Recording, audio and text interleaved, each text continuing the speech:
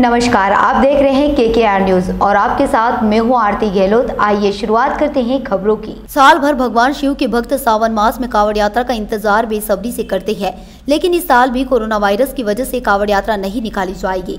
दरअसल, कोरोना की तीसरी लहर के शुरुआती दौर में ही प्रशासन अतिरिक्त एहतियात बरत रहा है। कोरोना की तीसरी लहर के खतरे को भापते हुए प्रशासन ने कावड़ यात्रा पर रोक लगाई है। गौरतलब है कि जबलपुर में निकाली जाने वाली यह यात्रा मध्य प्रदेश की सबसे बड़ी संस्कार कावड़ यात्रा जो कि बीते दस सालों से निकाली जा रही है।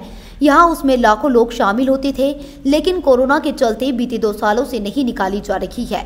कल से शुरू होने वाले सावन माह त्योहार को देखते हुए जिला प्रशासन ने निर्णय लिया है कि इस वर्ष कावड़ यात्रा नहीं निकाली जाएगी, जिस पर सभी कावड़ यात्रा निकालने वाले ने भी सहमति जताई।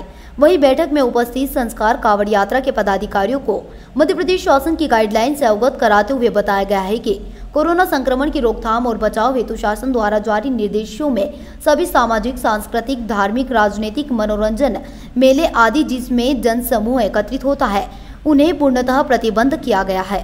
जबलपुर से वाजिद खान की रिपोर्ट। शासन की गाइडलाइंस जो है, उसके बारे में अपनी टीम को बताना पड़ेगा जो है तो उसी को दृष्टिगत रखते हुए आज के, आपके कहने पे एक और बैठक रखी गई है। तो आप सभी का उसमें स्वागत है। गाइडलाइन चेंज नहीं हुई तो कोई रैली कोई जुलूस अलाउड नहीं है। तो ये क्लियर है धार्मिक अनु- स्थल पे। 50 लोगों की अनुमति है धार्मिक स्थल पे किसी भी कार्यक्रम हो सकता है और कोई भी मूवमेंट वाला रैली वगैरह अलाउड नहीं है। कावड़ यात्रा को लेके आज सुनिश्चित रूप से दूसरी बैठक तो थी और आप लोग साक्षी हैं। और मुझे लगता है ये नगर का पूरा जिला प्रशासन और जवाबदार जिम्मेदार सब साक्षी हैं कि ये ग्यारहवीं यात्रा है। वो तो ग्यारहवीं यात्रा में पहली बार हो रहा है। एक तो बहुत लेट बैठक हुई। कावड़ यात्रा कितनी विशाल है, विहंगम है। ये किसी से छुपी हुई नहीं है। लेकिन इतने शॉर्ट पीरियड में इस पर कोई डिसीज़न लेना हमारे लिए बड़ा असहज हो जाता है। कोविड के नियमों का हम पालन करना चाहते हैं किसी प्रकार का नियम हम तोड़ना नहीं चाहते हैं। ये पूरी की पूरी यात्रा जो है, ये समस्त सदगुरु भैया जी सरकार के सानिध्य में संपन्न होती है और ये पूरी यात्रा जो है पर्यावरण को बढ़ावा देने के लिए यात्रा है। और ये जो आज प्रॉब्लम जो घटना घटित हो रही है, जो कोविड के और बाकी की महामारियों के नाम पे आती है, ये कहीं ना कहीं पर्यावरण का जब संतुलन बिगड़ता है तो फिर यूनिट दर यूनिट ऑक्सीजन के लोग परेशान होते हैं। या तो हम उस तरीके से लोगों को शासन प्रशासन को खासतौर समझा नहीं पा रहे हैं या तो वो समझने का प्रयास नहीं कर रहे हैं। हमारी कहीं से हठधर्मिता नहीं है। ये दूसरी बैठक है दूसरी बैठक में भी मुझे लगता नहीं है कि कोई एक अ, अच्छा रिज़ल्ट निकल के सामने आया हो।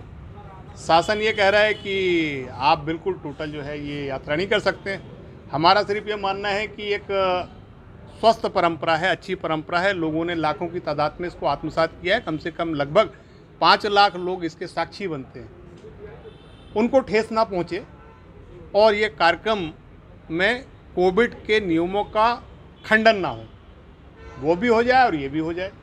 ये हमने अभी बात रखी है, क्योंकि शासन के भी अपने एक सीमित दायरे होते हैं। वो भी इस बात को लेके जो है, एक आपस में सहमति बना लें।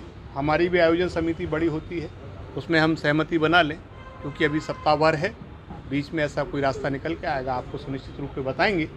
ये भी उतना ही यथार्थ है कि देश भर की कावड़ यात्राएँ रुकी हैं, कहीं किसी प्रकार की कोई अनुमति नहीं मिली है, लेकिन मैं बारंबार आपको संदेश देना चाहता हूँ और आपके माध्यम से लोगों को भी बताना चाहता हूँ कि ये सिर्फ़ एक धार्मिक कार्यक्रम नहीं है, ये समूचे विश्व में एक बड़ा संदेश है कि हम सब मिलके धार्मिक त्यौहारों को प्रकृति और पर्यावरण के लिए समर्पित कर दें, जो आम आवाम के, आम जनमानस के जिस तरीके से महामारी में लोग प्रभावित हो रहे हैं, उससे राहत मिले, ये पूरी की पूरी यात्रा जो है ये प्रकृति के लिए, पर्यावरण के लिए, जल की शुद्धता के लिए, पर्वत श्रृंखलाओं के लिए, वृक्षों के लिए ये लाभदायी है। और निश्चित रूप से जब ये उनके लिए लाभदायी है तो मानव समाज के लिए भी लाभदायी है।